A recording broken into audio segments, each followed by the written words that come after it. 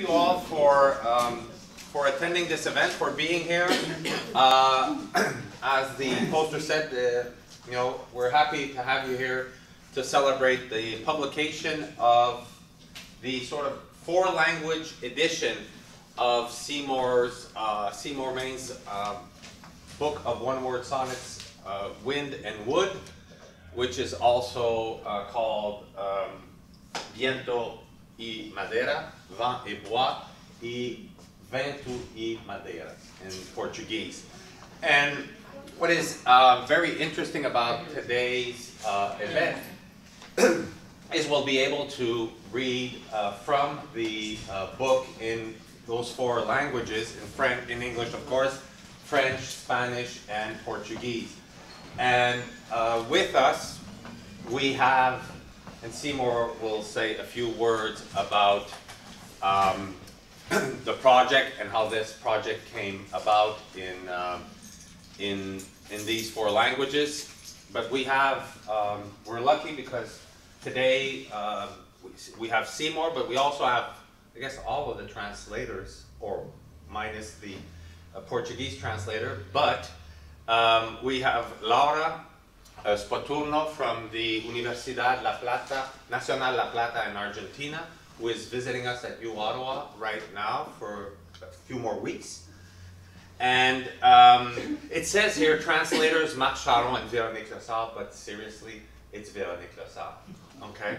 Uh, Véronique did all the work here, uh, and I just had the pleasure to read her versions, which Seymour uh, uh enjoyed very much.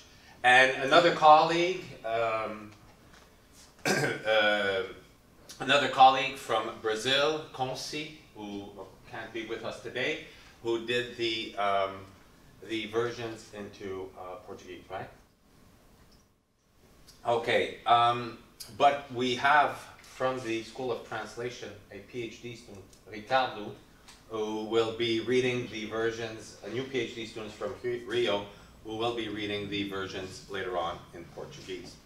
Now, I don't, I think most of you know Seymour. Everybody knows Seymour.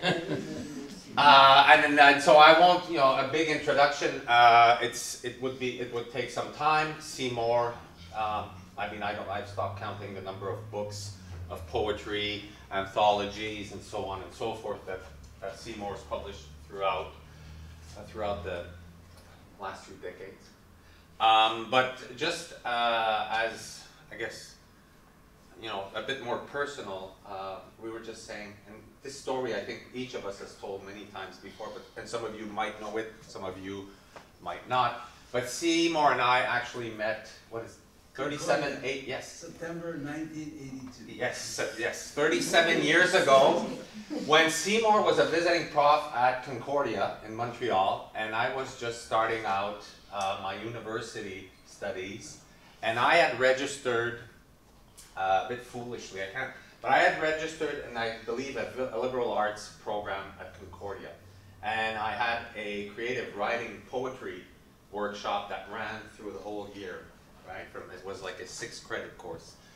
And um, of all the courses I had, it's the only one I kept. And uh, I, um, I've always been, since then, fond of creating, uh, of creative writing, of translating poetry, which I've had lately the uh, opportunity of doing.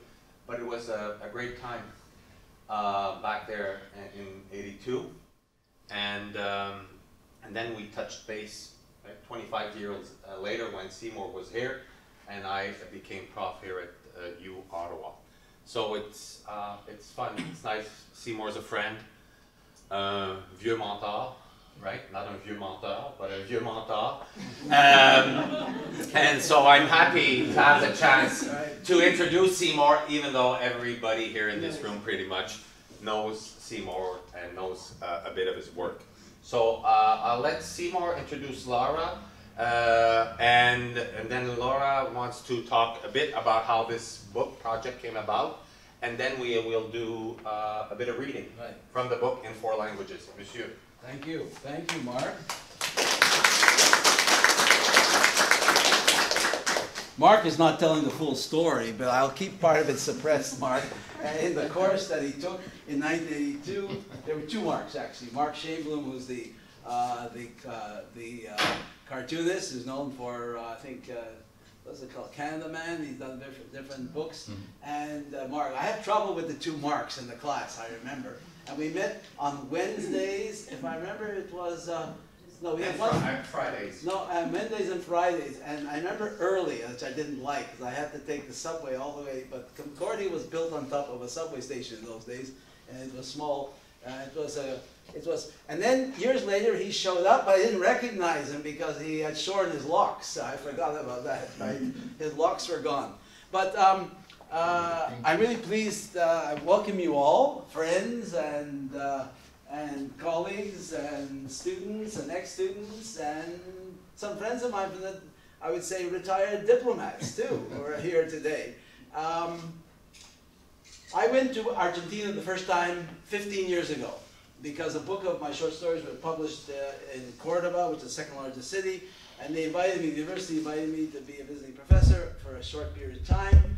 And then, of course, the Canadian Embassy decided we got you here, we're going to use you. So we're going to send you around to all these campuses to stir up Canadian studies and Canadian literature. And one of the places I went to, a place I'd never heard of up to that day, was La Plata, which is the capital of the province of Buenos Aires.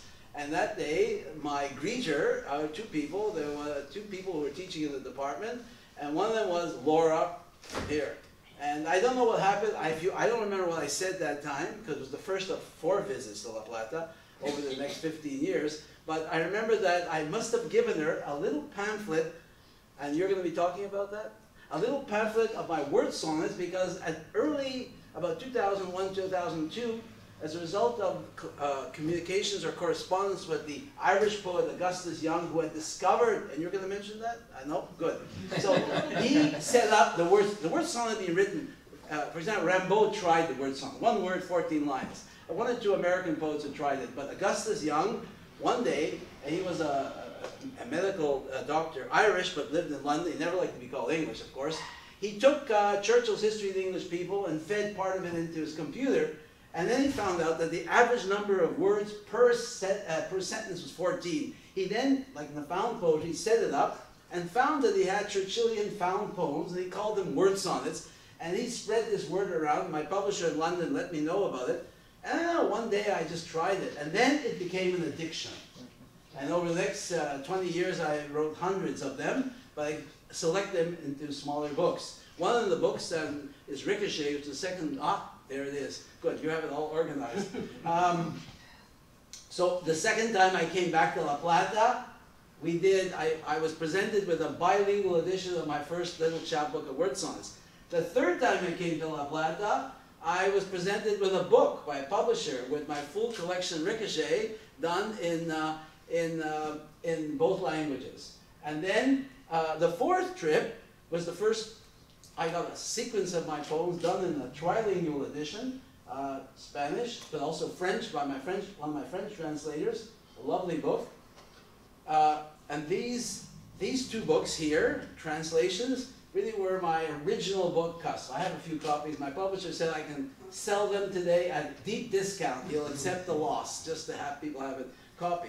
So what we've ended up, in fact, doing is um, uh, with, Wind, uh, with uh, is go one language further and actually cover the four major European languages of the Americas in a way. And um, I think it was a wonderful experiment. Now, Laura uh, started in the department. Now she's a research professor at the university, uh, which means, unlike we don't have those positions in Canada where she does most of her work in research rather than teaching, and the University of Ottawa, we teach and teach and teach and research and research, make it. We have time but we do teach a lot. I don't know if they hear here to on tabaret or not, but we teach more in our faculty than any other faculties in the whole province, believe it or not.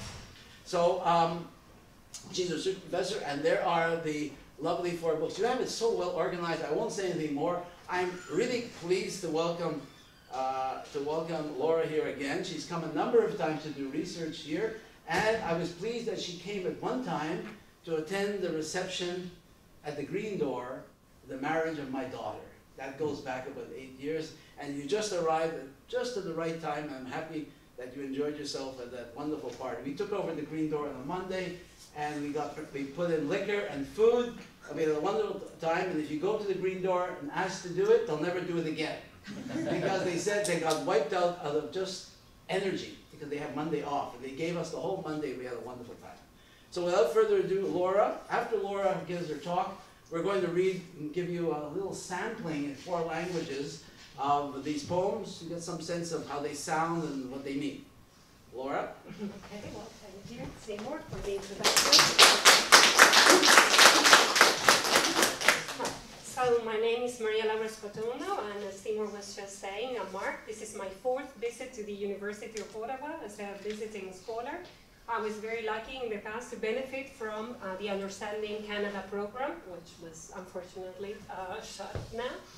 And uh, in Seymour's first visit to Argentina, I had to act as the contact person for him. So this is how actually we met. We exchanged some emails and then we met personally. I just organized a talk and he volunteered as a sponsor for my visit uh, to Canada that was going to happen in September 2004. That is exactly 15 years ago.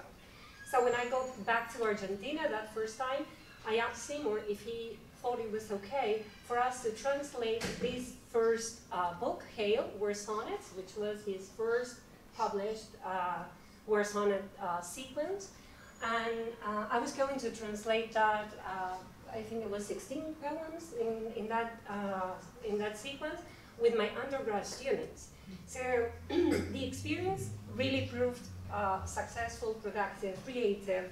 Students loved translating uh, this minimalist poetry, and it was possible for them to do it, right? These are third, fourth year undergrad students, excuse me.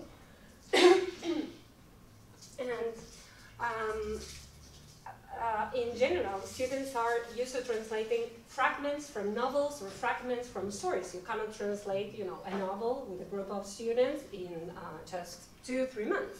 But uh, this uh, proposed um, a possible challenge, and one which was creative, sort of artistic, and intellectual. The condition of keeping these 14 lines, 14 words um, in the translation was something that we uh, really had to struggle at times, but really enjoyed coming up to some result uh, as a group. So translators, um, I mean students of translation would work in separate groups, in Argentina I mean, and then we would gather together, share the translations, and come up with one version. So perhaps at the beginning of the session we had 14 different versions, but our goal was to come with one. Of course, then we would have readings and uh, assessment of those translations. So, as Seymour was saying, the first uh, sequence, bilingual was, uh, sequence, was the one we published in 2006, and Seymour was there in May to uh, launch the book with us. The second, one of our favorites actually, is Reflejos. Then we had On the Cusp, in which we invited Sabine uh, Huynh, whom I met here in Ottawa. And then Know Butch came as a result of my last visit to Ottawa in 2011, where we thought it could be, uh, it was time to include uh, the other major European, of course, language spoken in the Americas. And so we came up with uh, Wind and Wood. Mm. So that's the name of my uh, university, and as Seymour said, I am a research professor because my affiliation is double. I also work for CONICET. This is what allows me to devote most of my time um, to, uh, to research. So our participants and languages, um, as Seymour was saying, uh, for and Mark, for Portuguese, we counted on the collaboration of Maria da Concepción Vinciclova from Unifoa, Centro Universitario da Volta Redonda in Brazil. And today, Ricardo is going to kindly read uh, the Portuguese version she did for this book. In French, uh, at that time, Véronique Lessard, she was a graduate student working with uh, Marc Charron for her master's, uh, which is now complete. And it was really um, it was really uh, nice for me to work um, as co general coordinator for this project uh, for the, with the translators from uh, Brazilian Portuguese, Canadian French, and then of course in all the process uh, we counted on Seymour Mayne, who was always willing to answer our questions and give us also his opinion on the different versions in Spanish, Portuguese, and French. Um, in the case of the Spanish version, there were about 60 undergrad uh, students working on, on the translation. This was, yes, so Marc is looking at me. Yeah, 60, uh, and for uh, some other books, there were about 100 students because we would be working with the translations over two years, right? And so uh, we would set special sessions, and so students from the year before would come, gather, uh, help, etc. So it was a very, uh, a very nice work for us as well. Now, in the process, uh, we were working, collaborating with each other over time, reading and rereading, translating and retranslating, and seeing how these uh, poems originally written in Canadian English could be reinscribed in the languages, in the other languages that we wanted to include in the selection. There were other expert reading, readers of this sequence giving us their opinion, and after their readings, we would you know, revise our translations and see uh, what, the, um, what, what we wanted the book to, to look like. The layout was also tricky. I don't know if you remember how to set the books, because in general, in the other books, we had, as it, it is usually the case in Western languages, the original, in poetry bilingual, the original, and then the translations, but Seymour accepted that we would have all languages at the same level, and for uh, the people at the publishing house, that was also difficult to do, so uh, the edition process was also uh, hard. And so this collaboration would include uh, the active then participation of the poem, the different translating groups, the translators from one language into uh, the other, and then the view of expert readers and reviewers. There is not much more I want to say because Seymour covered uh, some of the uh, features of this particular and very beautiful uh, genre. So um, I'm very happy to be here, and Marc perhaps would like to say a few Well, I just, more yes, I, words thank before you, Laura. Um, Thank you. right, I just wanted to say, um, that this was, I think, a very interesting project where, uh, I had the chance, and since then we've collaborated, but I've had the chance, I had a great opportunity to be Veronique's, uh, master's thesis uh, supervisor. And then, uh, when Seymour and Laura told me about this project, I asked Veronique if she would be interested in participating, which she did, and she, I think, enjoyed this. And she might say a few words about how you translate this particular form. Uh, and since then, I've been collaborating a bit more with uh, Veronique on uh, two books that are coming out in the next few months, uh, probably early winter uh, for both of them. And so, yes, it was um, it was great experience, and also a great experience too. All of us, perhaps except Laura, maybe right, but had worked previously, Seymour and I, with uh, with Conci in Brazil, uh, and so um, for another book that we did in a, a Portuguese version. So this was um, yes, it was also very much about colleagues and friends working together, um, and a very enjoyable, uh, a very enjoyable project. I don't know if Seymour wants to say a few things about the cover, which I find is beautiful. Uh, and then I think we can just go ahead and, and read, right? Yes, and I should say a few more words about the, the, uh, the sonnet, the word sonnet form, because when I got enthusiastic about it, I was teaching, of course, creative writing courses, and I, I spread my enthusiasm to my students and even to the non-students, and before I knew it, uh, the Augustus Young, who had then retired to England, uh, I mean to, France, wrote me and said, you know, Ottawa is the world center for the word sonnet. so we did an anthology online, which was part of a project of creative writing called Friday Circle. We have an online site of the department for about 20, 15 years now in the department. And one of the students who graduated, we then uh, asked local writers and students, and one of them, like Cyril Dabydeen, contributed. So we put a, we did an anthology of the word sonnet, and it's, it's an online, one of the earliest online anthologies, it goes back to 2004. And what astonishes at me is that it shows up everywhere in bibliographies. One little event, one group of students here with a professor and one or two other writers putting together an anthology, telling the story of the word sonnet, suddenly went viral. And you show, it shows up in articles.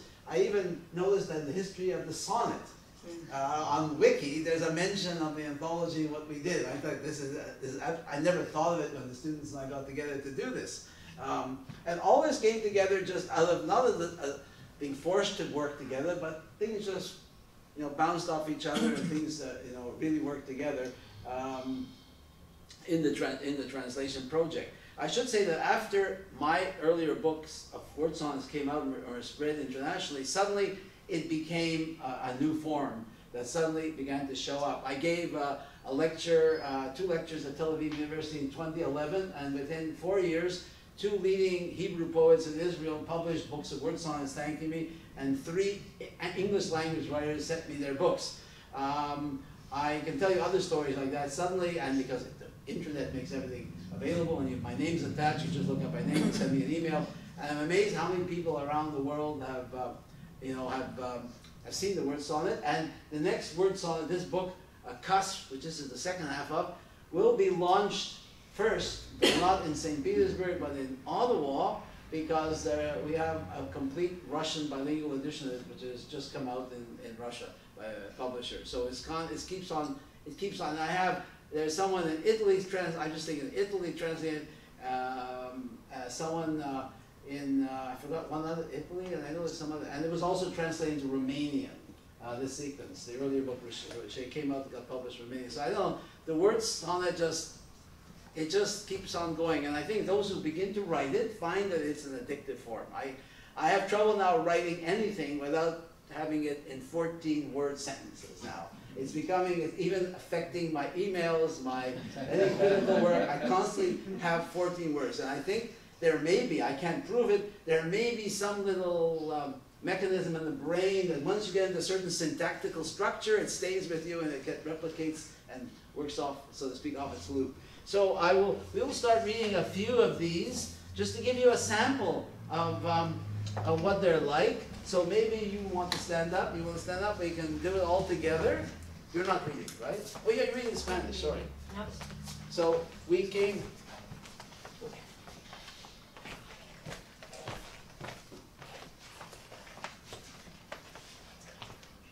The first one is, you always read on it, page 26. So we're a quartet now, you see?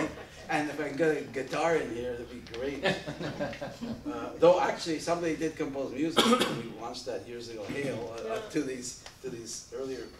Okay, so the first poem is the title poem for this section of Cusp, which is the this full book, Wind and Wood.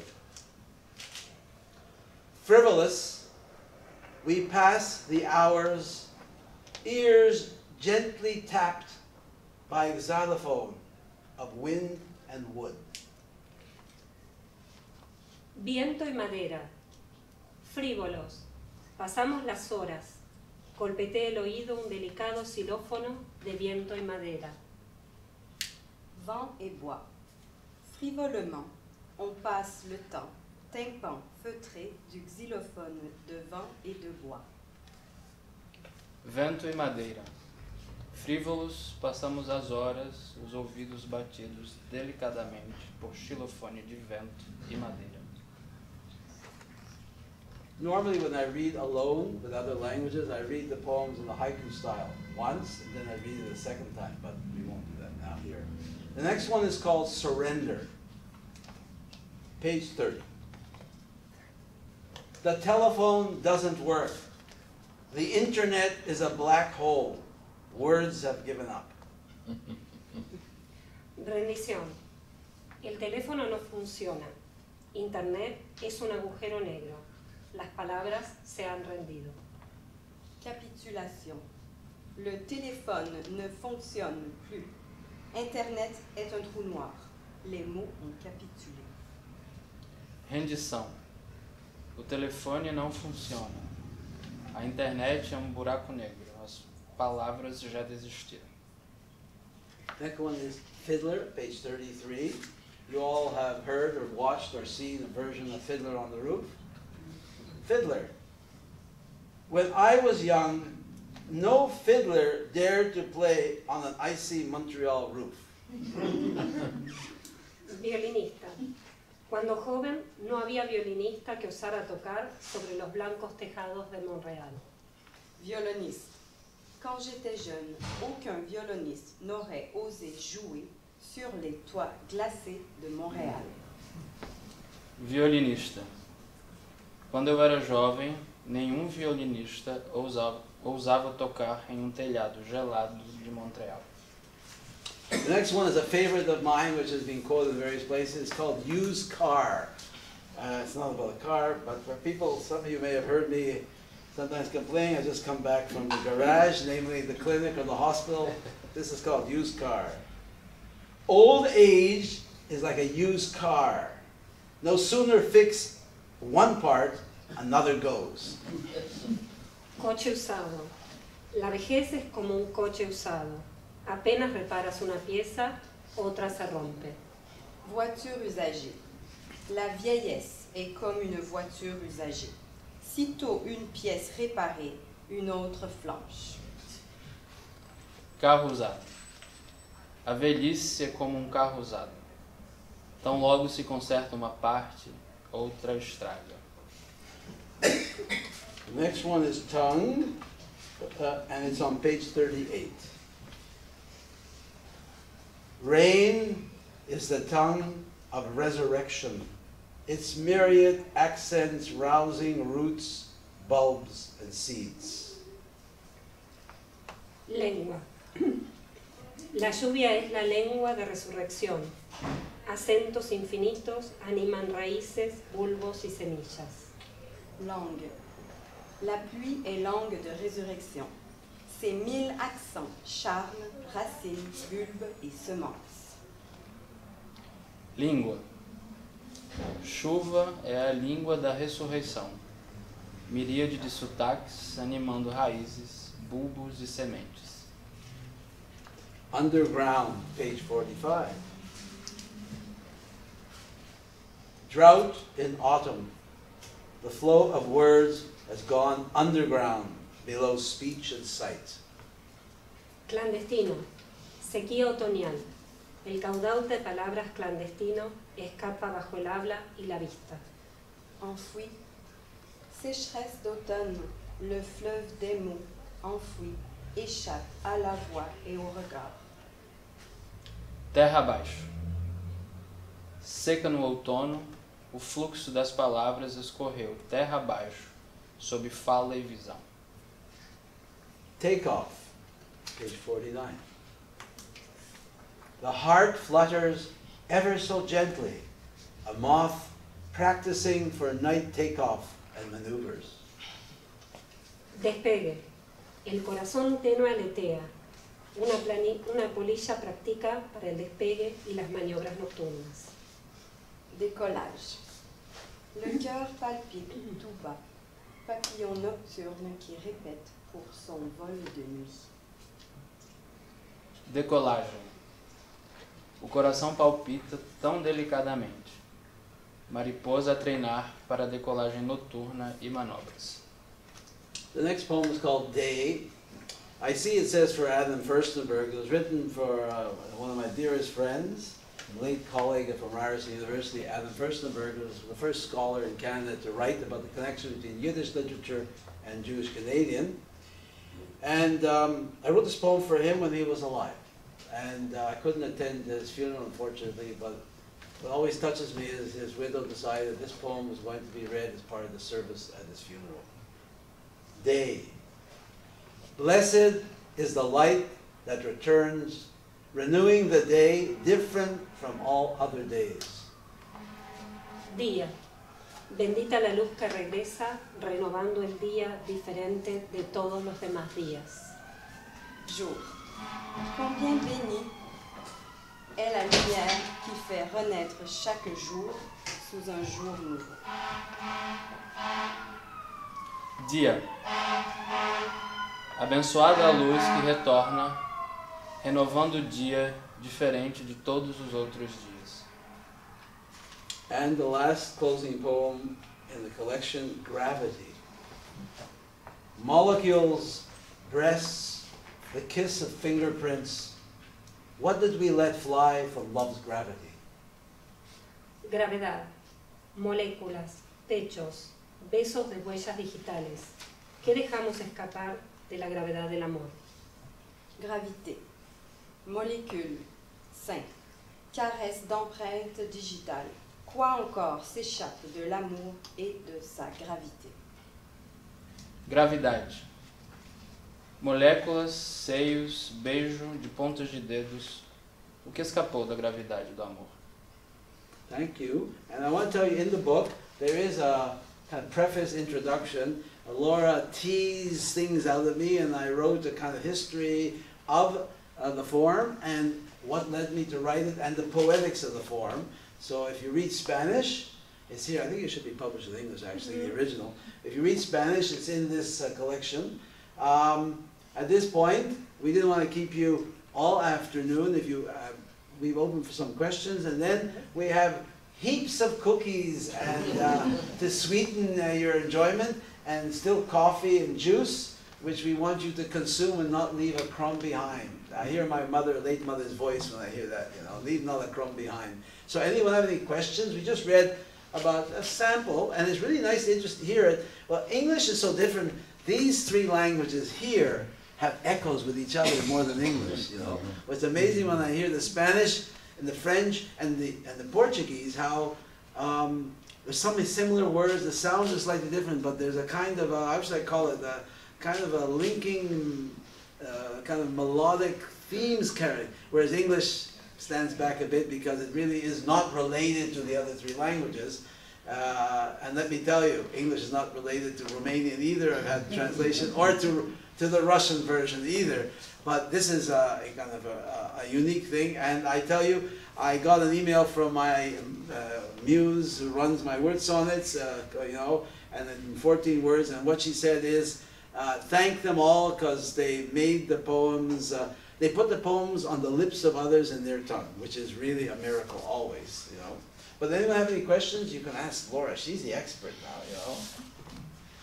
Uh, if, you, if you have a question, I only want to say is, I didn't know how many people were involved in La Plata, but next time I come, which is I hope next year, I think I'm going to get um, uh, t- uh, you know, uh, t-shirts printed up, you know, and uh, I don't know, I don't know what to call them, uh, the tears, or maybe I should call them menistas, right? Uh, like you know, uh, followers of uh, Mayne's word sonnets, or we can call them, you know, uh, word sonnets.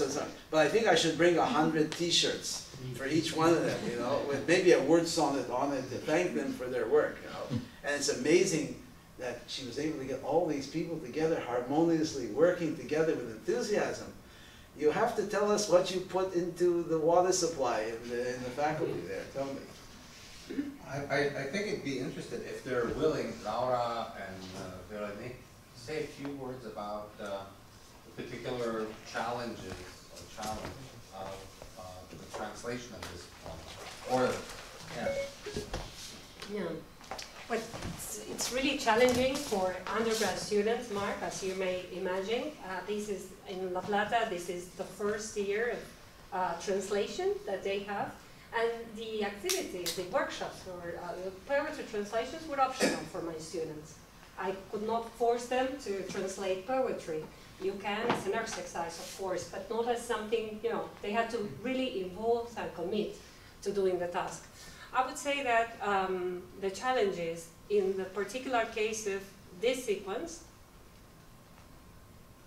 and uh, perhaps all, all other uh, sequences are to do with the main features of the form, that is to keep, to stick to the 14 line uh, which is not always that easy to, to do because we are translating from a language that allows contractions, English, into a language that uh, does not. Of course, we can skip the subject, which English cannot you know, generally, right? So um, the, the, form and um, the, the uh, differences in syntax, well, were always there as a challenge. Then this language economy, simplicity of style, the idea of the focus and the double reading that we get in many of uh, Seymour uh, poems. From the sequence that we just read, uh, perhaps Used Car is one of the examples. It sounds like a poem, about, um, a reflection on cars, but it's actually something that is telling you about a persona that is uh, perhaps resenting a little bit age. A lot. Right, well, a lot. And in many other cases, uh, perhaps there is um, a scene that can be uh, described literally or a, a, landscape scene. Uh, Canada is celebrated in many of these uh, poems, uh, the Canadian winter, and so, and so on. But then there is the other reflection that is more transcendental, philosophical, or metaphorical. That was a challenge for the students. And translating, uh, doing all this through translation, it's not that, you know, one session, we read the poems, we talk about the poems. No, we do everything together.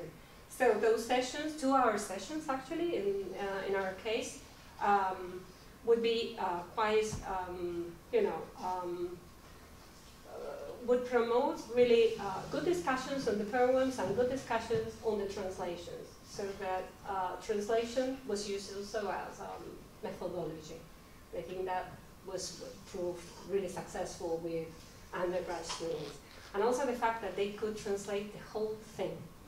So after that session, okay, we had translated come to one version we were more or less happy about of three poems.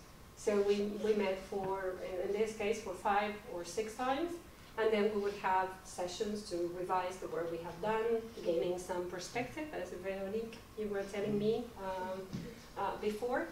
And well, I think that's that's the challenge, or some of the challenges, and then to understand cultural stuff and religious stuff, which are not really uh, familiar for Argentinian students who perhaps have never, most of whom have never traveled abroad or no French. In some cases, contact between uh, French uh, Canada, English Canada is there in the in the poems. You might perhaps not realize, uh, those of you who are Canadian, uh, but there was a thing with trees. I don't know if you remember in one of the poems, and the way you call these trees here and there, and and many things. And well, and punctuation was also a challenge when we. I don't know if you remember when we set up the whole uh, the whole book. Because French and Spanish and English and Portuguese would use spaces differently. Right. And so uh, Marc and Veronique were very generous because they made the, in the, the table of contents look good, even if that was challenging the norms, the French. So And sometimes I would get uh, emails from students, yes, and from you, or from the translators, and then I no longer was Seymour, I became King Solomon. I had to read and challenge. Now, my knowledge of French is adequate, Spanish, Portuguese, I had to really work up a little bit, but I had enough of a sense of it, because I had Latin way back.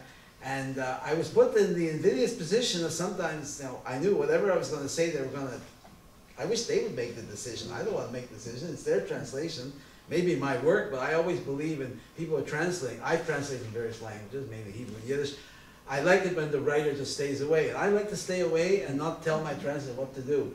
Uh, my Hebrew translator translated this book, did a funny, you know, visual thing to some of the poem. He couldn't, because Hebrew is so, um, uh, it's, a, such a concise language that you could not really take 14 to 14. 14 will always translate to 9 or 10. So I allowed him to break parts of the words into syllables. So it looked more like an E. Cummings poem than one of my poems. But that was fine with me, you know. And I thought I should add, which it just hit me now, why did this form really attract me? Well, uh, uh, Latin was an important part of my high school education. I went to a private school where Latin was important. I think reading, believe it or not, the short poems of Catullus, of Martial, his epigrams and satires, and I was always looking for a shorter form. Of course, when I was an undergraduate, the Imagist movement was only 40, 45 years old, and my uh, teacher, Louis Dudek, was a great, uh, a great um, a supporter of applying imagism to the inchoate writing of his students who were trying to write.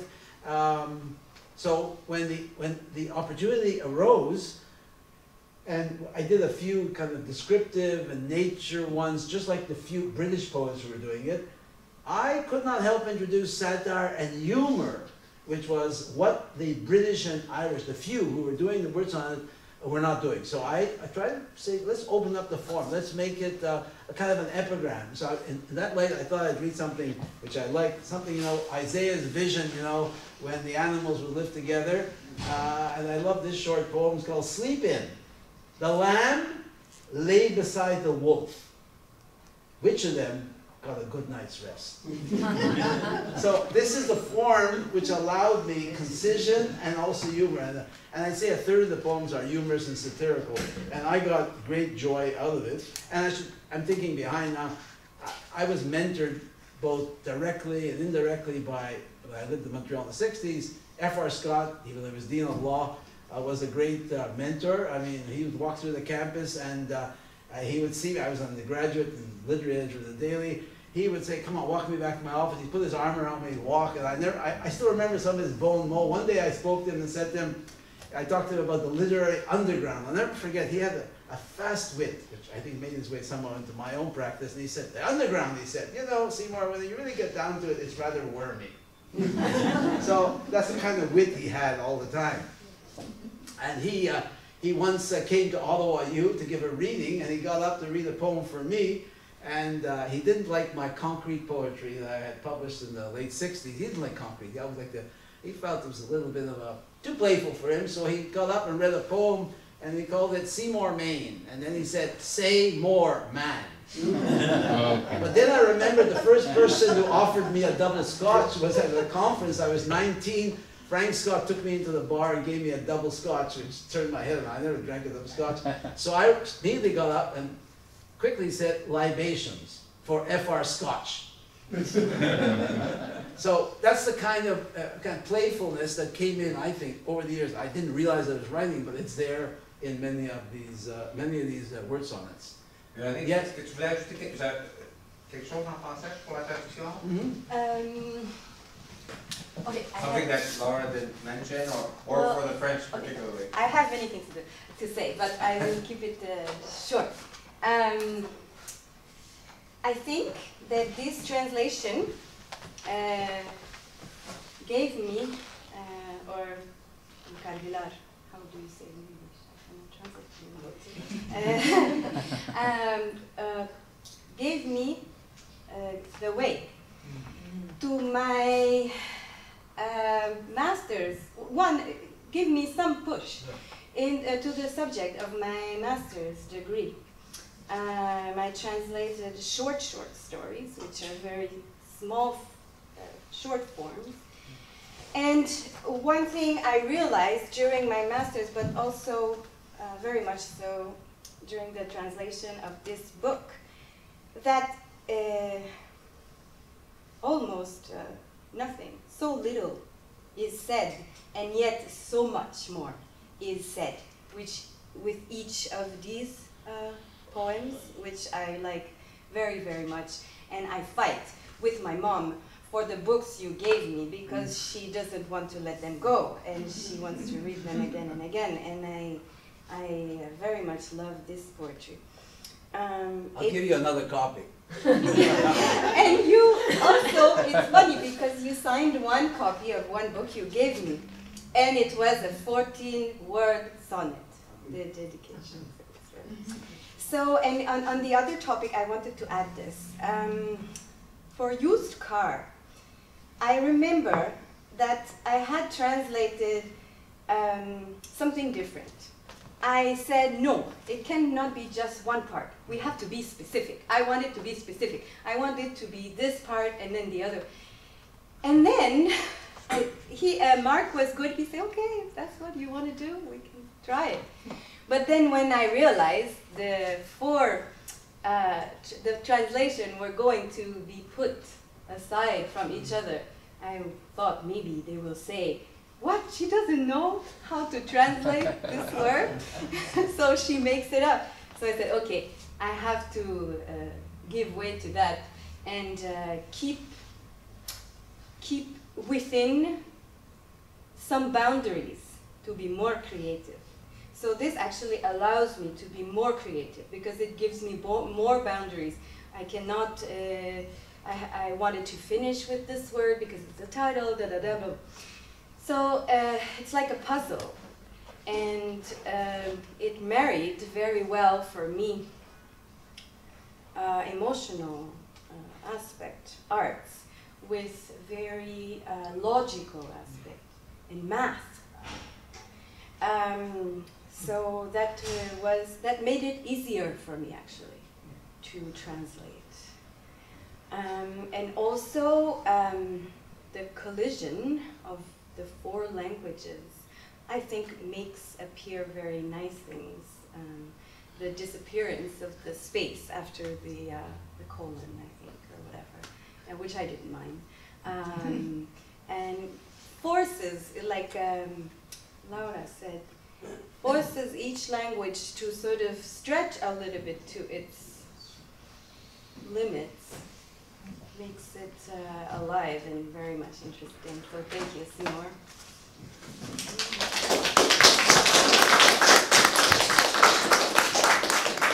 Quelques mots en français? Huh? Quelques mots en français? No, Oh, I just, no, no, no, I- no, I- no. I- no, no, no, I don't have anything, I just wanted, no, For those who. I think, uh, yeah, oh, there's a question. Oh, I there's a have a question. question, well, not really a question. You've infected me with this fourteen word. And you wrote one right now. And I wrote one like. That happens everywhere I go. So this one is taking two of the key things from today's gathering. The wind. That's my friend Jim, he's gonna outdo me today. That's Right, right. No, no, I'm just trying to match, okay? So the wind and cookies. The wind hungers for cookies with a burning passion that can never be quenched. That's a good, uh, I think, uh, thank you to, to the cookies themselves, which I hope you go and More ask. inspiring, Jim. Okay, no, I, I just wanted to say one, I think, uh, Veronique touched upon this and Nara too. One of the interesting things is that when you translate, usually one of the things you, you have a, a whole bunch of challenges, but you don't think very much, um, except if you're doing poetry. Uh, and in this case, poetry, short form on the same page is you never have to really worry about how your text looks set against either an original or another language. And in this case, as Veronique mentioned, right, she was translating, knowing very well that her text, you could also see on the same page three other versions of that same poem. And that is very, that doesn't happen all that often in poetry. Happens at times in bilingual poetry editions, but that's probably the only place where this happens. So it's, it's an extra challenge, but an interesting one. I have, thank you very much, Marc. I have, and thank you to everybody, and I have a million questions actually for each of you, even- but I can't get them all out, so I'm just gonna ask Seymour. Um, are you, uh, at some point, do you start writing in translation, but still in English, if that makes sense? Wait a minute, what's my first language of writing? I know, I know that you, obviously, you're writing it in English, but are you thinking at- in a, are you thinking advance. ahead as to what it would sound like in the other languages as you're? No, I wasn't thinking of that, no. I, I didn't think of translation. I write them, it's a moment when it just comes into my head and I write it, then I revise it because I want to keep to the form. The best ones, I mean, I've written hundreds, I only published, you know, hundred and fifty. I wouldn't Mhm. publish those I don't feel are successful, either in rhythm and, uh, in what I'm intending and the suggestiveness of the imagery, there's different kinds of it. No, I wasn't thinking of that. It's funny you should mention, because actually the other day someone asked me, did you ever write another? Yes, I have written in another language and I translated the poems into English. The other language is Hebrew. At some point I was writing in Hebrew, but I never published, so I didn't have the, I didn't have the gall to publish it. I had excellent, an excellent translator uh, who translated my work into Hebrew, the late Moshe Dor, who did, uh, who wrote the famous lyric Erev Shel Shoshanim. Uh, I didn't dare want to publish them, so actually, one of my books, I won't tell you which one, I have actually a, a, a, a slew of poems which are written in Hebrew, I translated them into English. But you know, translation is amazing. One of the great Yiddish writers was Isaac Bashevis Singer. People don't know, he wrote in Yiddish, he published in the Forward Yiddish in New York, and then in the 50s, people began to translate his work, and he got involved with each of his translators. So he actually was a co-translator. And when he translated short stories and his novels, he edited them and rewrote them.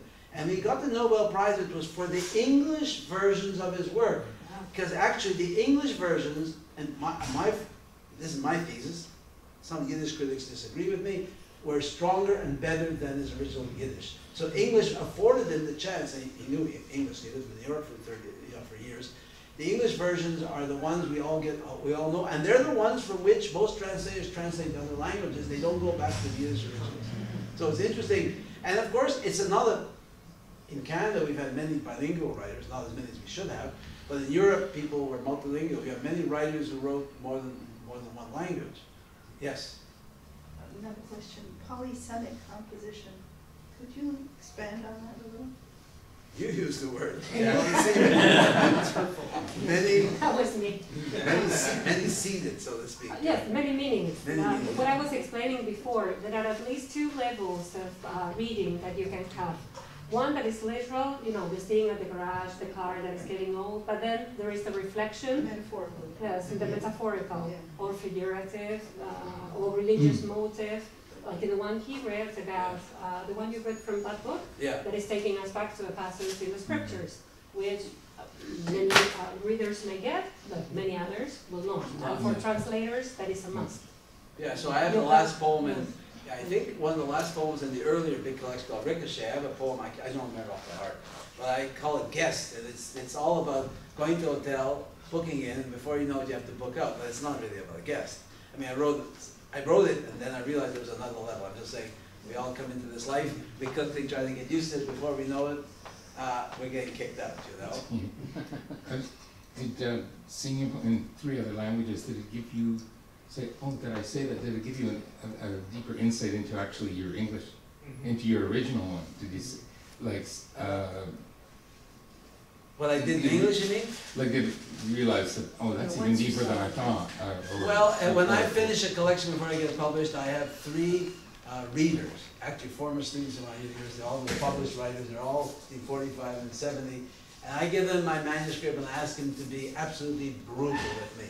I tell them, and uh, the new book is coming out, they passed through the three of them, and they are to tell me what they thought of the work they read. I get more out of them, because I don't think uh, another language would really, you know, uh, I don't, but uh, you mentioned, I mentioned Hebrew, I wrote many biblical poems in the nineteen nineties, a whole book of them. And when my Hebrew translation was translating, it was a bonanza for him because he could then pull out the original, because why use the, you know, and there's always a tension between the biblical Hebrew and the Demotic contemporary, which we don't have in English, unless I sounded like Chaucer at some point, or uh, maybe uh, the writer Beowulf, which we don't. There are very few poets have ever, but Hebrew, and there are other, Hebrew and modern Greek have elements of the ancient versions of their languages. So writers writing in those two languages have this wonderful ironic, uh, I say, ironic uh, resource. And the great poet who did that in Hebrew was Yehuda Amichai, who I know. And he, you read his poems and you go from ancient to medieval to modern Hebrew, and each one has different echoes. And you're able to do something you cannot, it's not, you cannot do in English. It's very hard to do in English. Though some poets, I think Geoffrey Hill, the British poet, tried to a certain degree to integrate uh, liturgical English and uh, all kinds of elements, to, but it's a very difficult poetry in English to read. It is a very, you, know, you have to really have uh, learning and concentration to be able to really appreciate this poetry. If you go out and read, I always like to throw out names, go and read Geoffrey Hill. He's tough. He's tough. Yeah. Yeah, I have a question about those sixty undergraduates studying Ah. translation. So when I was listening to the translations, of which I could understand respectively half, all, none, um, they seemed very transparent. They seemed very literal almost. It's- It made it seem easy, and I'm sure it was not easy. So what I'm curious about is when those students were working on the translation and you were all working together towards that beautiful, transparent, obvious seeming final version, what were the kinds of problems they were encountering? What sort of categories did their errors fall into? The students I will mention here in the book, Mhm. um, a- all kinds of uh, problems. Some of them I, I've already mentioned. So to stick to 14, uh, 14 words, that was uh, harder than we can imagine. To uh, what Marc was saying, knowing that we were going to be uh, together with English, French, and Portuguese, which in some cases gave us clues as to what the best word could be. Then, um, what you mentioned about this uh, transparent um, sort of translation, I think it's to do with, uh, well, the uh, Lawrence Venuti's ideas of foreignization or domestication of translation. So uh, there is this notion that we wanted to stick to the letter, as Antoine Berman would say, so that the reader would be able to, mm, you know, compose the, the poem as he read, as they read, yes, which is a, a different thing. I noticed that uh, our colleagues, uh, Veronique, Matt, and also Sabine, uh, would take the poem, appropriate uh, Seymour's uh, poem, and perhaps um, produce a, a poem that could be uh, more of their own, no? Adapting it to different uses and things. There are two different strategies, but I think that adds to the richness of the book. We had, I don't know if Veronique or Matt remember, a thing about the title, because you had come up with a beautiful title in French, but that did not uh, respect or follow the um, compounds in, in the other languages. They said something. Well, what, what- yeah, what so they said. I- I And can't that even was- remember. I- that's- But, um, no, I remember. but what, what is, uh, at least to me, is that wind and wood in English, of course, right, is, is monosyllabic. It's, it's got the W, the D. So, I mean, even visually, it's interesting. Viento y madera is, is, is more musical, like vento y madera in Portuguese, than vent et bois, which is, right, it's, and so I was kind of bothered by my, and I probably still am today, thanks for reminding me. But uh, maybe I'll get, Nick remembers that discussion. One thing I wanted to add, Jennifer, is, and I think this was a problem that I remember, as I said, Veronique did all the work here. Uh, I discussed the, the, some of the dis- translations with Veronique about, and one of the things I, I, I, felt, and probably the same in Spanish and Portuguese, correct me, c'est les noms composés en français. In French, you have a lot of noun, de, noun.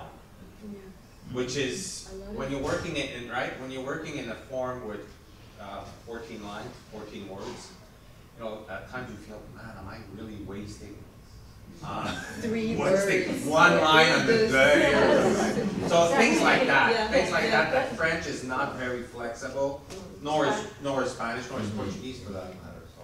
yeah. Uh, yes, if I can uh, add one thing about this very interesting um, subject of uh, la tra- tra- traduction uh, de la lettre. So that was very present too, and it also uh, for the French translation, um, and it also impacted in different ways. For example, the last sonnet, um, gravi- um, Gravité. Well, Gravité. gravité. so I thought to be true to the letter, and this is just a petty example, I need to finish the sonnet with gravi- gravité. This has in my uh, head, it has to be to be true to the letter. So I took a different path than um, Laura and Tim and uh, Consi in um, Brazil. I, I took a, I had to juggle a little bit the order of the word, uh, the meaning, uh, so I could be true to this letter. So you can come up to be true to the letter or to the meaning or to the uh, appropriateness or um, l'étrangeté. What, uh, I cannot translate anymore. You will ask me why. Um, uh, so, so where was I? ever? was I? So you stick to that. So, so, so yes. Uh, so, but it okay. What I want to say is, it gives a different result to keep to the letter, even if you're doing the same process. One thing in French that is great, I don't know, I, I, I guess any Spanish and Portuguese would be the, French though, I can say. French allows, um, thank God it allows a few things. Um, allows les inversions. So syntactically French, you can play a bit more perhaps with the syntax. It allows inversions, uh, and so that at, at, at times can help you out, right? Um, but even then, I remember if you have some of those, you have to use the forms in French with the verb, the hyphen, and the T, and I mean, so, and I, I remember the first few discussions is, we count this as, you know, where do we Yeah, separate? what is one this as word? one? We count these as we two? had the discussion about the Yeah, yeah, yeah. definition. When actually the counted as one, two, and three, and things In like many that. cases, we came up with thirteen or fifteen, so it was either. Exactly. So I, actually, the French translation, the earlier book called Ricochet, which is available, public access, published by University of Ottawa Press, translated by the French Vietnamese writer Sabine Huynh. And uh, I gave her full rein. So a few of the poems, people complained they're her poems more than my poems. It's fine with me. She took, I gave her, I said, you have full liberty, go ahead and do it. But my earliest French translator, the late Pierre DesRuisseaux, I did a selected poems of mine many years ago, and he, tr- he looked at these, and he told me French, he said, oh, okay. So then I gave him permission, he translated a number of them, but none of them came out in fourteen, they were 13, 15, 16. He refused, he just couldn't do it, he said, let them stand by themselves, I said, fine. But along came uh, Sabine, and, uh, and you guys were able to do what he, and he's a, was a, a master poet, he just threw his hands up, it was too much for him, you know, uh, to do. So, We like math. you like that, and the other thing, remember, the- math. The person who is coordinating this, this book, which I'm really grateful, is Laura, who is actually multilingual. She's familiar with all four languages, you know? I told you, my Portuguese, I have to confess now, is not very, it's not, it's, it's rough. And when I got questions about the Portuguese, I thought, oh God, what am I, how do I know? And my Portuguese neighbor moved away, besides which, he only has a grade seven education, so I didn't think I could impose on him to say, tell me which word should be the better word, you know? But you are fluent in, you know, in the four languages, yeah. And she also has, she did a PhD in Chicano American literature, so she has all, she is the ideal editor for this program. Can I ask one other Yes. question quickly? Seymour, which, which language is, is, is your favorite for these? Oh, I'm not gonna say. I think I I think I'm going to incriminate myself right now. I'll not say. Only I want to tell you, if you want to, you're all welcome, October twenty-fourth, Library and Archives Canada, where we're doing a triple launch of an anthology of work from one of my, my students I've taught over the years, and the Russian-English edition of the poems. And there, I mean, I spoke a bit of Russian as a child, but believe me. And, the, and the, whatever I remember of the Russian is either a few words that my grandmother spoke or some of the phrases I can't repeat that my father used to repeat. that he used to hear, for example, the, Bol- the Bolshevik soldiers coming to his village and the comments they made about the Cossacks and on the Mensheviks. I heard, I used to hear these words and sometimes my father would sing ironic songs. Uh, and I didn't understand until later that they were actually not fit for polite company, you know. but, uh, so, um, can I now, yes, you have a question? Maybe, Yeah, I have a question for Laura. Laura? For you are a translator and also a a researcher in the field of literature. So when you are translating the poems, uh, because you know that uh, there's often the problem of untranslatability in translation practice. So when you were translating poems, uh, were you consciously aware of the fact that uh, you have to sacrifice some aspects of the original poems? That is part of the, of, of the job, I think, Yes. to accept, Yes, to accept that there is always that something you're gonna that fail will be, miserably. yes, that will be lost in translation. Yeah. I mean, Veronique uh, managed to stay with réalité at the end of the poem, which was beautiful, a beautiful choice because you would have uh, the word in the title and at the end, just in, as in the original, but she had to compromise. That was a change in the meaning, uh, which, uh, well, we agreed that was for the benefit of the poem in, in French. But that is always something. Uh, more so when you are restricted by uh, the genre. And for us, uh, well, that was um, a must. We had to stick to the 14, uh, the 14 words. Yes. Uh, Some constraints are more negotiable than Than others. others, right. But trans- exactly. I would Yes. say I, I, I welcome translation. I think because I grew up with five languages as a child, an immigrant child in Montreal, I translate every day. I would go between languages from school, back home, family, uh, grandparents, parents. Uh, you know, and I never thought that I was being a translator right at the very beginning. I had to do it to, to, to function. But I think it's better to do it because the trans the poems take on another life. I know they're not exactly the same, but there's a new readership, there's other people, and something comes through. Uh, the American poet Robert Lowell worked with, uh, with linguists and did a series of translations in various languages in a book called Imitations. He called them imitations because he rearranged some of the poem. But I think any version, I mean within reason, translation is worth it. And I think that translation is definitely a great boon to spread knowledge of poetry, you know? Poetry, sorry, Yeah. poetry translation is a tough one. Yeah. Because, uh, you know, critics, some critics think that only poets can translate poetry. Yes. And we were not poets ourselves. No. And we had undergrad students, not like Veronique, she was a graduate student. I mean, we had really um, people starting doing translation, working uh, on these poems. And we proved them wrong. I mean, that is also from the pedagogical angle. Yes, I am a professor of literary translation. That was very important for me, right? This can be done. I mean, it can, it can always be improved. And that is true of all translations that have been made in, in the history of uh, mankind. Yes. All translations can be improved. Yeah, when we were uh, uh, reading the poems, I always thought of uh, maybe one day when I, I'd like to translate a poem into Chinese. I would love, yeah, I would love love to have it in Chinese, you know why? I found out that the first edition of a book in China by a good publisher is thirty thousand copies. Oh. So I would love to see that happen, so you and I oh, should, you and I, you and I should talk afterwards, because Yeah. I- I've never had a book that reads thirty thousand. One book of mine Yeah, reads yeah. five thousand reprints, but have lot- thirty thousand copies? We have a large part, I uh, know. market, you know. All right, so we should have a chat. Yeah, yeah, Yeah. because I, I'm doing research about translation, Right. especially literary translation. Right, And I love reading and writing, right. yes. There you go. Everything? Okay. Okay. Thank you all. Thank you all for coming out.